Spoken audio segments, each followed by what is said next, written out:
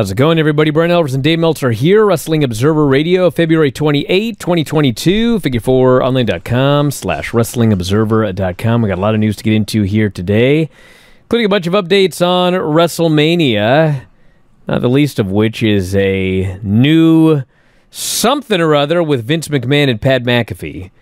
Can't imagine this being anything resembling a grappling match. But they're going to be something at WrestleMania. What's the plan? I don't know. They're advertising. They're going. The, the it's it's listed as a match on the format for the show. Um, they're you know obviously it's going to be a bunch of smoke and mirrors. They're looking to use Vince's name and Pat McAfee's name to uh, sell some tickets. They got a lot of tickets left to sell.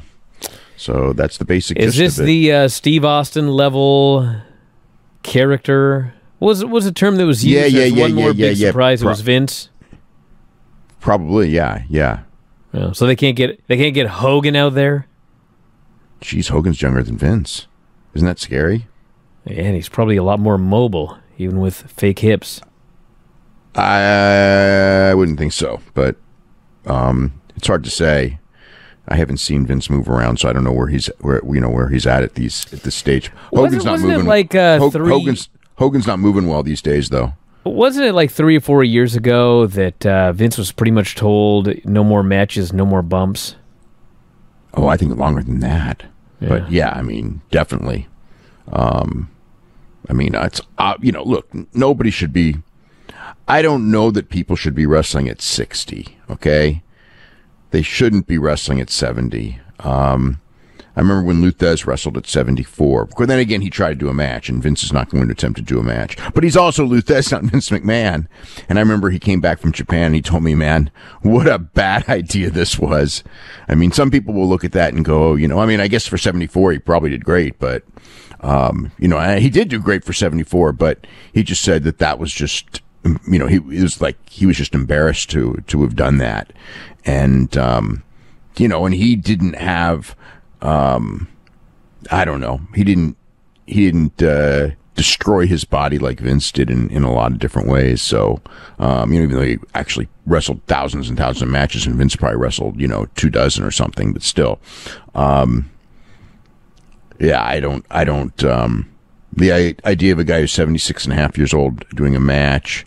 Um, I mean, there have been older guys do it. Dory, Dory Funk Jr. and Mil Máscaras were wrestling older than that, but that's not a, that's not a recommendation for it either. uh, Watching those guys wrestle at that age, um, you know, and and they, you know, were not in as high profile position as this, but uh, you know, I mean, they they got something worked out. They're going to do it, and uh, again, you know, Vince Vince was a big draw in his day. So was Steve Austin. I mean, that's what they're there's um, you know, whatever. I mean, uh, New Japan's putting Fujiwara in tomorrow night at 73 years old. So it's not like, uh, but Fujiwara, the one thing with Fujiwara is, is that his style is very grappling based and, um, he can kind of, what he does, you can kind of do at an older age. You know, it's not like Shawn Michaels, what Shawn Michaels did you know, when he from when he came back, and because I had talked to somebody, you know, from there about Shawn coming back because they're bringing everybody back, right? You know, anyone they can. And the thing is with Shawn is that like Shawn is not nearly as old as these guys, but Shawn Michaels had a, a very very athletic style, and it's going to be a lot more difficult for him to come back and and you know replicate what he did than Fujiwara to replicate what he did, and for Vince. Um, you know, I mean, he, Vince never did much, but um, I don't know. You know, that that's pretty old to be. It's way too old to be doing it, but whatever. You know, I mean, they're they're going to do something. They're doing everything they can. They're You trying. know, to I, I said, Dave, the show was going to top out at 55. And now Well, look at this. We're bringing back Vince and we're bringing Yeah, back it's- Austin. it's- Is it's- Triple H available? Who's next? No, no, no. Triple H would be a terrible idea. Um, the- you know, I mean his his heart situation is is he he can't. You know, I I don't want to say never because that's unfair because maybe he, can do something, but uh, that would be a horrible idea for him to. And and it's not going to happen this year. There's no way.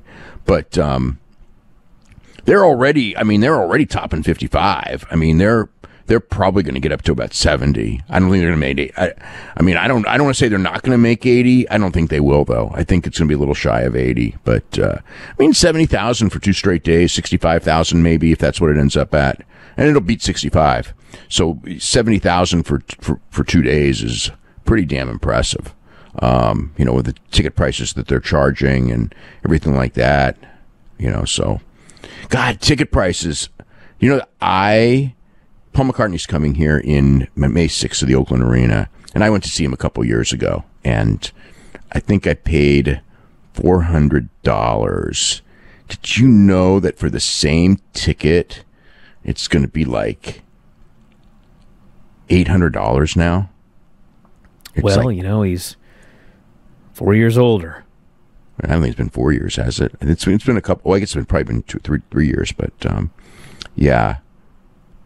No, does that make him a bigger attraction? Well, I don't know, but I mean, every year, every year that he gets older, it's like this could be, you know, how many more years he can be doing this? I'm amazed he's still doing it. He's 90, older than he's going to be two thousand dollars a ticket. Yeah, and he's he's older than Vince. No, but the thing is, is like yeah, know, but he's to... singing. He's not out there wrestling. No, but he moves around a lot. I mean, I know he moves around a lot, but he's not taking a bump. He's not, getting, he's not getting head butted and have his head split open. I don't think Vince is going to get headbutted and get his head I sure hope either. not. But you put this guy in the ring, who know, who knows what's going to happen? Well, that is a problem. Is that once he gets out there, you know, it's like nobody can tell him to stop, and then he might do something. He might injure himself. That wouldn't surprise me at all. You know, and him go out there, you know, because it's like, you know, the you know what gets. I mean, people don't hear about this, but the thing that's to me is when it gets sad is like with Hogan when when Hogan was coming back at the end. Not even at the end. I mean, this is this is going back twenty years, twenty years ago when Hogan was doing his comebacks, where every time he would do a match, he would end up having surgery after the match. And Dude, like, that's what happened to Rock a decade ago. That's why I'm telling you, I don't think he's wrestling next year.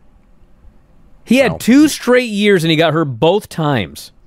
Yeah, yeah, yeah. He tore his hamstring in in the middle of the match the uh, first year, and then he tore his intercostals and had, I think, an abdominal hernia. hernia. I forgot the exact stuff. This he was all mess. The first year, it was like he was in pain and worked with a torn hamstring for the rest of the match and everything. But the second year, he was messed up, and yeah, they had to delay Hercules for for a month, and uh, you know because he just wasn't ready. Um, he couldn't be. It's impo- it would have been impossible. So yeah, I mean, if he's got anything going, it's going to be that's a tough one to put together for a lot of different reasons. He's got a lot of bigger things on his plate than WrestleMania, obviously. Uh, you know, um, he's going to be getting ready for that. Uh, what I think they're starting the um, XFL in April, and WrestleMania is probably end of March, early April. So, um, not that he can't do both, but that's going to take up a lot of his time starting that that new league. So yeah, you know, not to mention whatever other stuff. I guess the the um, he should be back in the United States now because um, Young Rock uh, they just finished filming this week um, in Australia. You know, they were there for like five months filming the season, um, the new season of Young Rock. Hey, if you're a big fan of Wrestling Observer Radio. We got 12,000 episodes of all of our podcasts up at our website, WrestlingObserver.com. If you sign up today, you get access to every single one of them. The 12 to 18 new shows that we do every single week. You can podcast them, listen to them on the road, at work, working out, in the shower, wherever you listen to your podcasts. And also full access to the Wrestling Observer newsletter and archives. So if you love what you hear, head to WrestlingObserver.com. 12,000 audio shows at your fingertips.